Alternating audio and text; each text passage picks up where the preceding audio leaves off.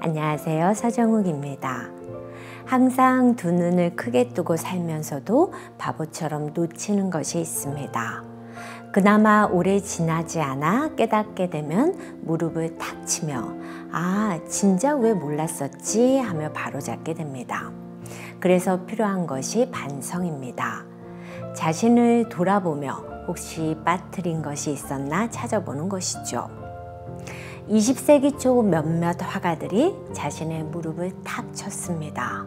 아, 이걸 왜 진작 몰랐을까 하면서 말이죠.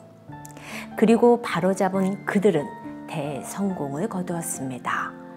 궁극적인 현대 미술을 연 화려한 주인공이 된 것이죠.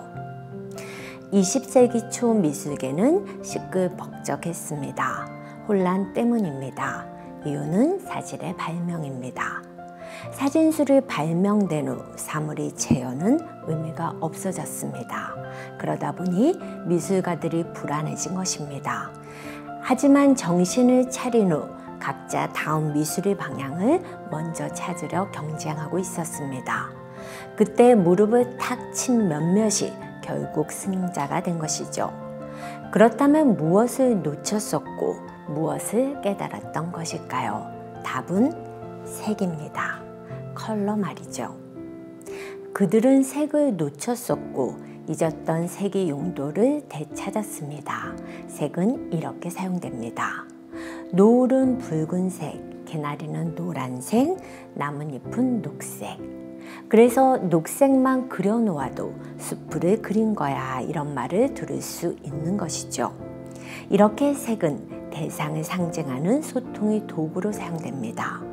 하지만 한 가지 더 있죠. 색은 그 자체가 바로 감정의 전달입니다. 쉬운 예로 오렌지색을 보면 우리는 따뜻함을 느끼고 푸른색을 보면 추워집니다. 이렇게 색에는 감정을 전달하는 기능 또한 있는데 그전 화가들은 색을 대상을 전달하는 데만 사용했던 것이죠. 바로 이것을 깨달은 것입니다. 그렇다면 이제부터 대상과 색은 분리될 수 있겠네요. 꼭 하늘이 하늘색일 필요는 없어졌고 형태만 하늘이고 색은 전달하고 싶은 감정에 따라 선택하면 되겠지요. 이들은 이런 방식으로 그리기 시작했습니다. 보시죠. 이들 중 하나인 앙드레 드랭이 그린 1906년 런던의 채링 크로스 브리지입니다. 먼저 눈에 들어오는 것은 하늘입니다. 핑크색입니다. 저 핑크를 보고 누가 하늘을 연상할까요? 앙드레 드랭은 감정을 표현하기 위해 컬러를 사용한 것입니다. 나머지도 다 원래의 색이 아닙니다. 하늘 바로 앞에는 건물이 실루엣이 보이는데 녹색입니다. 저렇게 보일 수는 없죠? 역시 감정 전달입니다. 강물을 보세요. 더 다채롭죠? 주홍색, 파란색, 겨자색, 민트색. 대상에게 구속되던 색은 이제 자유를 얻었습니다. 왜 이걸 진작 몰랐을까요? 앙드레 드랭은 이제 색을 가지고 마음껏 놀기 시작합니다. 회화 사상 전에 없던 대단한 발견입니다. 생각을 같이 했던 모리스 드 블라멘크가 그린 생강이 바지선입니다. 바람이 많이 부는지 강물은 거칩니다. 강물 위에는 바지선이 있고 한 노동자가 위에서 일을 합니다. 강 건너에는 공장이 있고 공장 굴뚝에서는 검은 연기가 거침없이 뻗어나갑니다. 하늘을 보니 날씨가 꽤 흐려 있습니다. 하지만 사실 이렇게 본 것은 다 상상으로 연상한 것입니다. 조각조각 떼어놓고 본다면 저게 어떻게 강물입니까? 저게 어떻게 하늘입니까? 그리고 저는 원색의 배가 있을까요? 모리스트 블라멘크는 형태만 그린 후 이색 저색을 가지고 마음껏 자신의 감정을 즐긴 것입니다. 다음으로 마티스를 소개합니다. 그가 이 발견을 한 중요한 인물입니다. 그의 자상을 보시죠. 얼굴에 녹색이 칠해져 있습니다. 초록은 얼굴에 사용하는 컬러가 아닙니다. 보통 괴물들을 표현할 때나 썼었죠.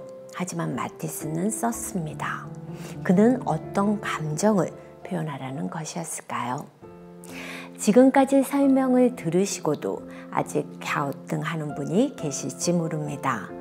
이게 뭐 위대한 발견이란 말인가 이렇게요. 하지만 의미가 큽니다. 시각 예술에서 색처럼 중요한 것도 없겠죠?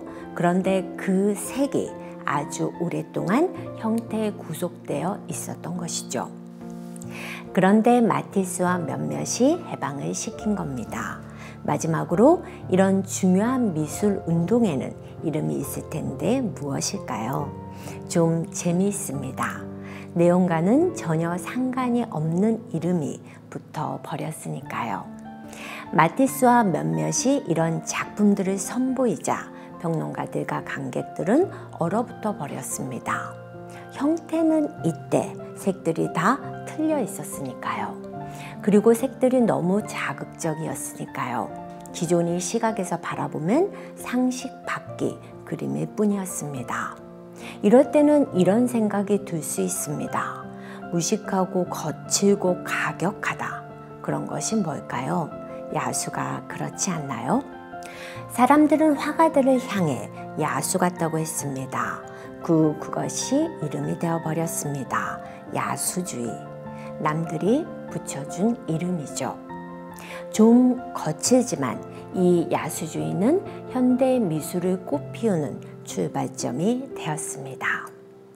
서정욱 미술토크 구독자 여러분, 여러분도 한번 찾아보세요. 혹시 놓치고 있는 것이 있는지.